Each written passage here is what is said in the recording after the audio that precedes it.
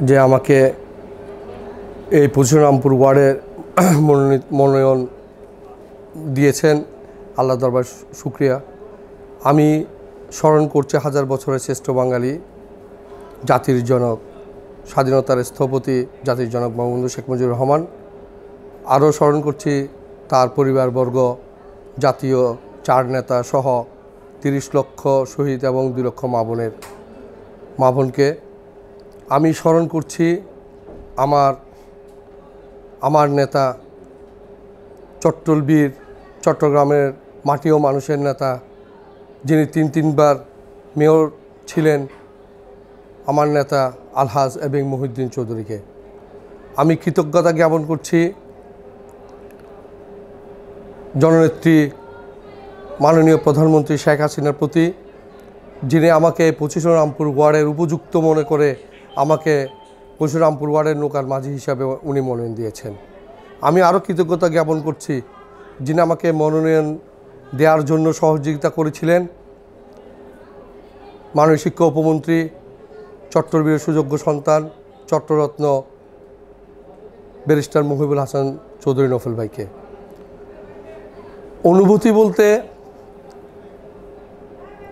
বাংলাদেশ আওয়ামী লীগ সেই দীর্ঘদিন একটা সংগঠন যে যার সভানেত্রী, মাননীয় প্রধানমন্ত্রী, উনি এখন শুধু বাংলাদেশের নেত্রী নয়, উনি এখন বিশ্বনেত্রী। সে বিশ্বনেত্রীর হাত থেকে আমাকে, হাতে, হাত থেকে আমাকে মনোনয়নটা দিয়েছেন। এটার অনুভূতি ভাষায় প্রকাশ করার মতো নয়। আমি দু হাজার দশ সালে এই রামপুর ওয়ার্ডে নির- নির্বাচন করেছিলাম। তখন আমাকে এই রামপুরবাসী আমাকে তাদের মূল্যায়ন ভোট দিয়ে আমাকে কাউন্সিলর বানিয়েছিলেন। দুই হাজার পনেরো সালে আমি নির্বাচন করি। এই দুই হাজার পনেরো সালে অনেক ঘটনা, অনেক কিছুর পরে আমাকে হার মানতে হয়, কিন্তু ভোটে আমি হারি নাই সেটা রামপুরে সবাই জানে। তো যাই হোক, পুরনো ঘটনা আর বলব না। আমি যখন এখন এই রামপুর ওয়ার্ডের প্রতিনিধিত্ব করার আমাকে একটা সুযোগ আল্লাহ দিয়েছেন, জননেত্রী দিয়েছেন। আমি আগামী ভবিষ্যতে যেভাবে বিগত দিনে রামপুরবাসীর সাথে আমি কাঁধে কাঁধ মিলে কাজ করে গিয়েছি, যেভাবে রামপুরবাসী আমাকে ভালোবাসে, আমিও ঠিক এই ধারাবাহিকতায় এই ধারাবাহিকতায় অব্যাহত রেখে আমি এই রামপুরের মানুষের সাথে কাঁধে কাঁধ মিলিয়ে আমি আগামী সিটি কর্পোরেশন নির্বাচন করব এবং আল্লাহ মহারাব্বুল আলমের আমাকে অবশ্যই যুক্ত করবেন, আমি আশাবাদী। আমি যদি আমি নির্বাচিত হই, আল্লাহ আমাকে নির্বাচিত করেন, আমার সেই পুরনো ধারাবাহিকতা যেটা আমি দু হাজার দশ সাল থেকে দু হাজার পনেরো সালে করেছিলাম মাদক মুক্ত সমাজ গড়াই আমার প্রথম টার্গেট। যে আমার টার্গেট হচ্ছে তিনটে, একটা হচ্ছে মাদক মুক্ত করব। দ্বিতীয়, এখানে প্রচুর জুয়া, জুয়ার বোর্ড পরিচালনা করে, সবুজবাগ এরিয়াতে। এখানে শুনলাম চার পাঁচটা জুয়ার বোর্ড এখানে পরিচালনা করে, ইয়াবা ব্যবসা করে। আমার টার্গেট হচ্ছে যে এই এই মাদক ব্যবসা, এই জুয়া ব্যবসা আমি রামপুর থেকে উৎখাত করব। এটা আমার চ্যালেঞ্জ এবং ভূমিদস্যু। যে রামপুরার ভূমিদস্যু বেড়ে গেছে, এই ভূমিদস্যু থেকে রামপুরবাসীকে অবশ্যই অবশ্যই উদ্ধার করতে হবে আমাকে। এই তিনটা ভূমিদস্যু ভূমিদস্যু থেকে রামপুর উদ্ধার করা, মাদক থেকে রামপুর উদ্ধার করা, জুয়া জুয়া জুয়া বোর্ড থেকে রামপুর উদ্ধার করা। আমি আশা করব ইনশাল্লাহ এই তিনটা আমি, অবশ্যই আমি সফল হব। রামপুর ওয়ার্ডে কোনো কিশোর গ্যাং নাই। কারণ কিশোর গ্যাং অবশ্যই থানার লিস্ট থাকে। আমার জানা মতে রামপুর ওয়ার্ডে কোনো কিশোর গ্যাং নাই। কিশোর গ্যাং কারণ রামপুর ওয়ার্ডে যে রামপুর ওয়ার্ড কোনো রকম ধান্দাবাজির জায়গা নাই। যেমন গার্মেন্টস, বিভিন্ন প্রতিষ্ঠান থাকে যে প্রতিষ্ঠানগুলো থেকে ধান্দা করতে গেলে কিশোর গ্যাং পালতে হয়। সুতরাং রামপুরের মধ্যে কোনো কিশোর গ্যাং নাই আমার জানা মতে। হ্যাঁ এখানের মধ্যে রাজনীতি করার মতো বিভিন্ন বিভিন্ন কলেজের বিভিন্ন কলেজের ছেলেবেলে আছে। এগুলা মাঝে মধ্যে ধরেন কোনো সমস্যা হয়, এগুলো সমাধান করা যায়। এমন কোনো আহামরি কোনো কিছু মানে কোনো গ্যাং নেই যে রামপুরের সমস্যা করতে কোনো গ্যাং নেই রামপুরের মধ্যে। রামপুর ওয়ার্ডকে মহিউদ্দিন চৌধুরী, আমার নেতা আলহাস এবং মহিউদ্দিন চৌধুরী দুটো ওয়ার্ডকে হেলদি ওয়ার্ড ঘোষণা করেছিল। একটা ছিল যে জামাল খান ওয়ার্ড। পরবর্তী কিন্তু রামপুর ওয়ার্ডকেও কিন্তু আমার নেতা মহিউদ্দিন চৌধুরী কিন্তু যখন মেয়র ছিল, তো উনি উনি কিন্তু হেলদি ওয়ার্ড হিসাবে ঘোষণা দিয়েছিলেন। আর আপনি যেটা বলতেছেন আপনার শিক্ষা। আমি যখন দুই হাজার দশে নির্বাচিত হওয়ার পরে, এখানে কোনো স্কুল ছিল না, আপনার হাই স্কুল তখন ওয়ার্ড অফিস হচ্ছিল।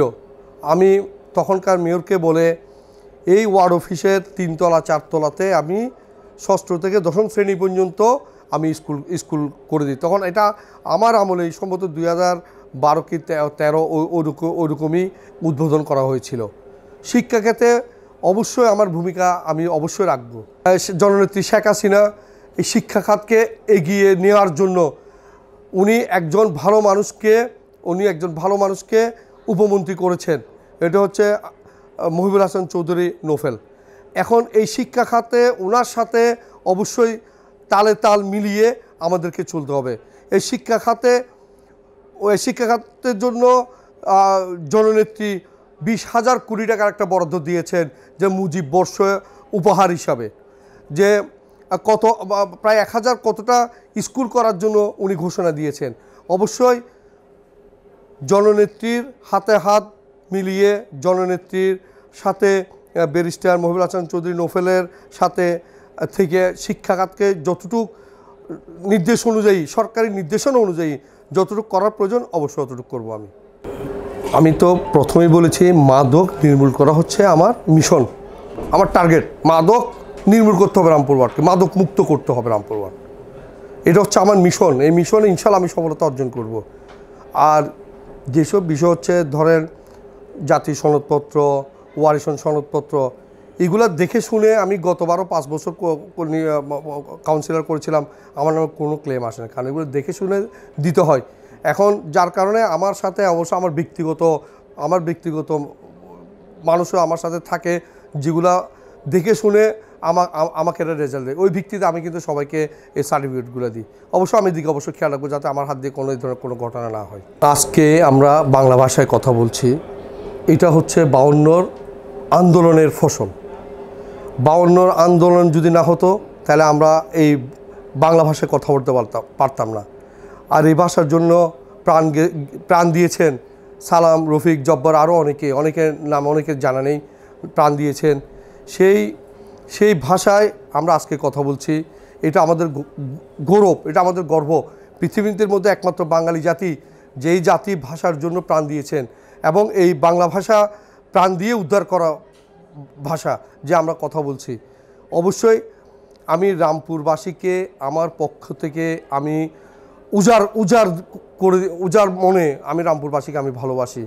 রামপুরবাসী আমাকে যেভাবে ভালোবাসে দু হাজার দশ সালে আমি এখানে ভাড়া করেছিলাম। এইখানে ভাড়াঘর থেকে আমি কমি কাউন্সিলর হওয়া এটা অনেক অনেক বিষয়। আমাকে ভালোবাসে বিদায় রামপুরবাসী আমাকে ভোট দিয়েছেন। আমি ওনারা মনে করেছেন আমি উপযুক্ত। এই জন্য ওনারা আমাকে ভোট দিয়েছেন। আশা করি রামপুরবাসী, আমি যতদিন বেঁচে থাকব, আমার আমার হৃদয়ে রামপুরবাসী থাকবে, রামপুরবাসীর হৃদয়ে আমি থাকব। আমি আমার এই মনো- মনোনয়ন আমি রামপুরবাসীকে উৎসর্গ করলাম। আল্লাহ বলেছেন, দান দান করতে হবে, ডান হাতে যাতে বাম হাত না জানে। আমি এলাকার মধ্যে আমার ব্যক্তিগত কি করে, না করে, এটা এলাকার সবাই জানে। ওইটা আমি ক্যামেরার সামনে বলতে চাই না। তারপর আপনি যখন প্রশ্নটা করলেন আমার একটা বরাদ্দ প্রতি মাসে থাকে, প্রতিদিন থাকে, প্রতি সপ্তাহে থাকে। ওই বরাদ্দ থেকে আমি কিন্তু রামপুরে অনেকজনকে বিভিন্নভাবে সহযোগিতা করে আসছি। সরকারি বরাদ্দ যেইটুকু থাকে, এইটুকু দেওয়ার পরে, সরকারি বরাদ্দ তো আর নগদ টাকা কোনো কেউ দেয় না। সরকারি বরাদ্দ থাকে আপনার বয়স্ক ভাতা, বিধবা ভাতা, বিভিন্ন ভাতা। ওগুলো সরকারিভাবে বরাদ্দ, ওগুলো অবশ্যই সরকারের বরাদ্দ জনগণ পাবে। আমার ব্যক্তিগত যেভাবে আমি বিগত দিনে দিয়ে আসছিলাম, বিগত দিনে করে আসছিলাম।